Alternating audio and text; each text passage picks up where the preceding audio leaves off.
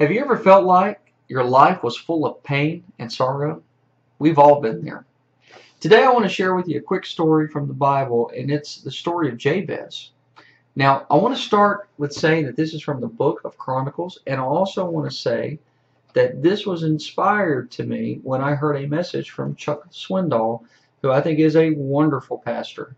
So Chuck Swindoll tells this story that's from the Bible about this boy named Jabez. And Jabez was born unto his mother, and it says in the Bible that he was born unto sorrow unto her. And the literal translation of the name Jabez means pain and anguish. And I know that some of you have lived in a life that has been surrounded by pain and anguish. Now, the thing that's so impressive to me is that this is in a particular part of Chronicles where they are listing a heritage. It's a series of names after names after names, and it, quite frankly, is kind of boring.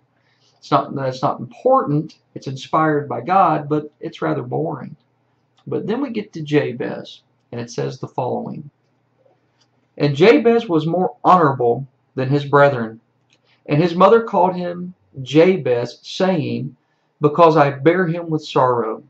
And Jabez called on the God of Israel, saying, Oh, that thou wouldest bless me indeed, and enlarge my coast, and that thine hand might be with me, and that thou wouldest keepeth me from evil, that it may not grieve me.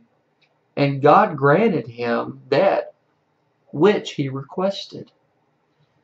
I want to share this with you today because in this list of lineage, we had one person that was set aside. We had two whole verses on the subject of Jabez. First and foremost, he comes from anguish.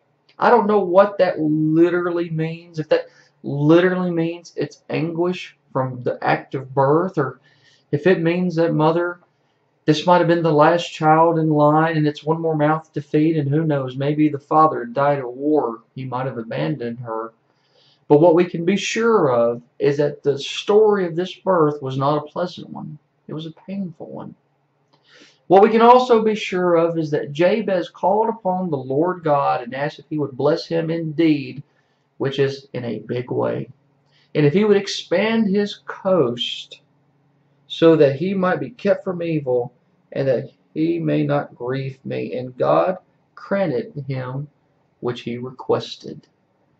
That's the important thing I want to bring to your attention today is that God grants request.